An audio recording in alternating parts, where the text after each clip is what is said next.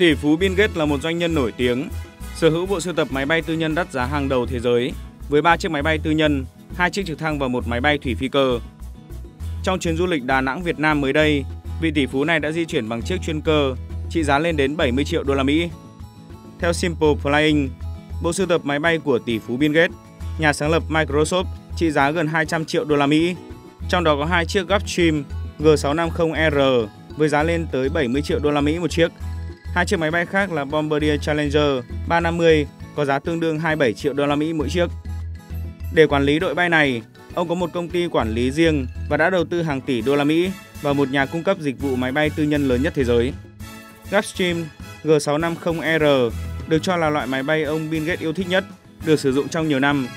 Hai chiếc máy bay này được chế tạo vào năm 2018 và tỷ phú Mỹ đã mua để thay thế cho hai máy bay trước đó.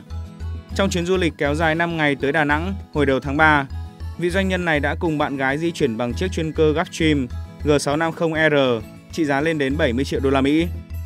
Dữ liệu trên nền tảng theo dõi hành trình bay cho thấy, ngày 3 tháng 3, chiếc máy bay của vị tỷ phú khởi hành từ sân bay Vadodara, Ấn Độ đến sân bay Đà Nẵng. Tính đến ngày 5 tháng 3, chiếc chuyên cơ vẫn ở Việt Nam. Được biết, đây là lần thứ hai Bill Gates đến thăm Việt Nam sau gần 18 năm. Trước đó, ông từng có chuyến công tác tới Việt Nam từ đầu năm 2000 và thực hiện một số hợp đồng kinh doanh trong lĩnh vực công nghệ thông tin. Gulfstream G650R là siêu phẩm chuyên cơ thương mại nhanh và lớn nhất thế giới. Được trang bị hai động cơ Rolls-Royce BR725 có sức mạnh vượt trội với tầm bay 13.890 km và gần đạt tốc độ siêu thanh. Tốc độ này đã giúp Gulfstream phá kỷ lục thế giới về chuyến bay vòng quanh thế giới nhanh nhất vào năm 2019. Bay từ cực này sang cực kia trong chưa đầy 47 tiếng đồng hồ. Nội thất của chiếc máy bay phản lực tư nhân này rộng rãi, thuộc hàng sang trọng bậc nhất thế giới với 4 không gian có thể được tùy chỉnh theo ý muốn người dùng. Siêu máy bay có sức chứa tối đa 17 hành khách ngồi hoặc 6 đến 8 hành khách ngủ. Bên cạnh đó, chuyên cơ được trang bị hệ thống làm sạch không khí bậc nhất. Cứ mỗi 2 đến 3 phút, hệ thống này sẽ lọc và trung hòa các chất gây dị ứng, virus trên máy bay, đảm bảo cung cấp 100% không khí trong lành cho hành khách.